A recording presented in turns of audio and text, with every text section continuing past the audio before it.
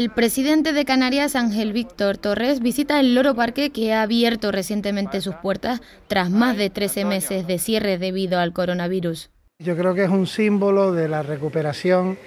que va a tener Canarias y esperemos que sea ya en los próximos, las próximas semanas con la llegada de turistas y la apuesta por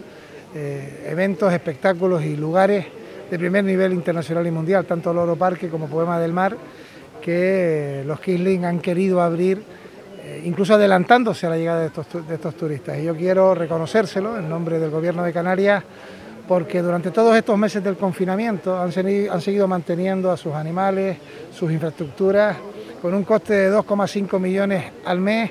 de euros, sin ningún tipo de ingreso, y lo han hecho para poder reabrir. Y creo que cuando hay empresarios que apuestan porque saben que vamos a salir de esta fortalecidos, hay que aplaudirlo por parte del Gobierno de Canarias y por tanto contento de que esta infraestructura turística, medioambiental y clave que tenemos en Canarias pueda volver a abrir sus puertas, que es lo que queremos, que las puertas que nos cerró la pandemia, la COVID y el confinamiento, esas puertas se abran,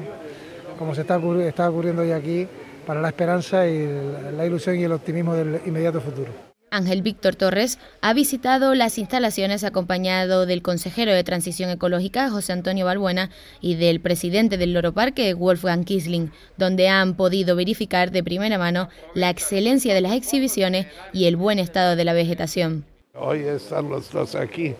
un gran prestigio que nos dan. Y bueno, el parque está abierto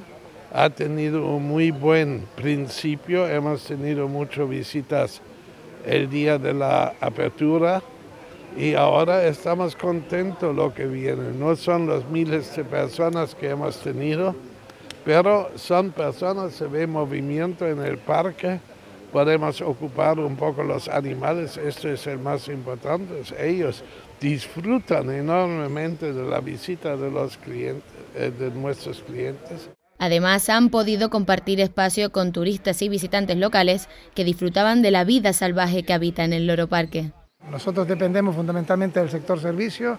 del turismo, estamos siendo sacudidos con mucha fuerza en cuanto al desempleo y en cuanto a las estructuras sociales y económicas, pero tenemos